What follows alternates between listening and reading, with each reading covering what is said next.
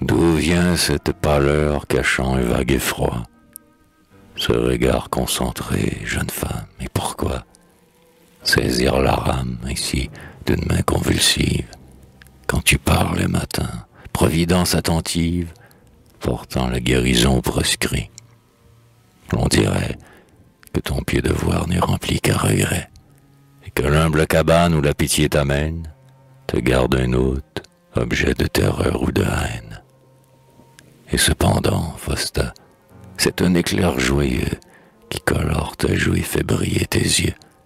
Décollant la maison du pêcheur, sous les branches, montre son toit de chaume et ses murailles blanches.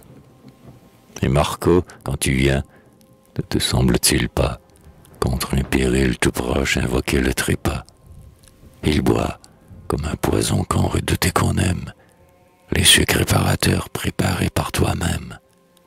Il tremble à ton aspect, à ton nom il pâlit.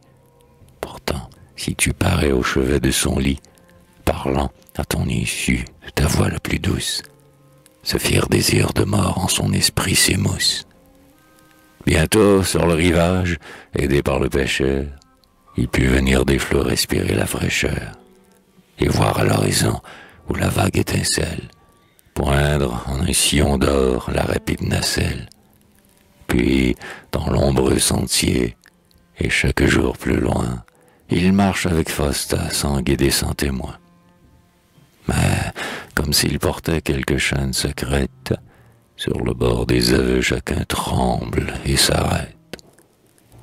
Souvent l'un d'eux hésite en parlant du passé et refoulant son cœur, subitement glacé, cette étrange terreur là-bas ressentie. Les taise. Fosta sans retour est partie. Elle se les jurait. C'est leur adieu. Pourtant, le lendemain l'amène à Marco, qui l'attend. Si faible encore, ses vies est à peine sauvée. Fuir ainsi lâchement cette œuvre inachevée. Non, c'est moi qui, vaillant aux abords du chemin, dois remettre à Marco son glaive dans la main. Et d'un pas moins timide, enfin, les causeries entraînent le blessé jusqu'au bout des prairies. Chaque jour l'attirant pour un plus long repos, un arbre plus lointain entend, plus doux propos. Vous sembliez, disait-il, l'ange de la patrie, posant un bras sauveur sur ma tête flétrie. Vous m'apportiez la vie, et je n'en voulais pas. Mais je la garderai pour de meilleurs combats. Je le sais, la pitié que votre cœur s'impose dans le blessé que notre sainte cause.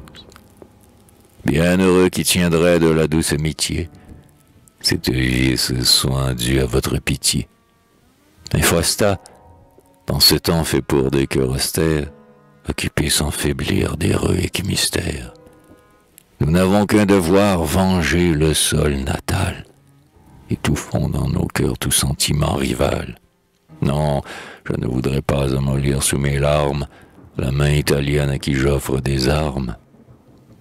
Mais ainsi vont leurs discours, et l'ombre des forêts les couvre au bord du lac de ses voiles discrets.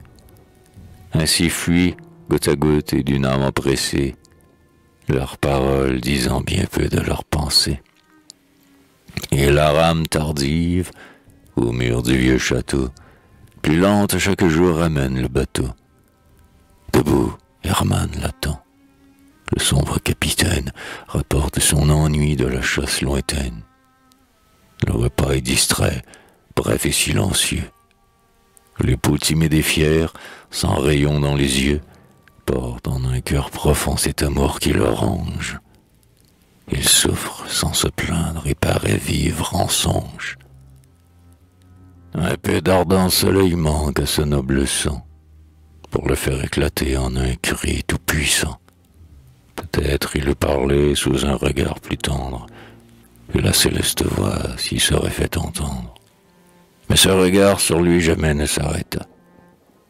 Qu'importe les secrets de cette âme à Fausta, qu'importe au prisonnier le trésor que recèle, le mur sombre se rive une chaîne éternelle.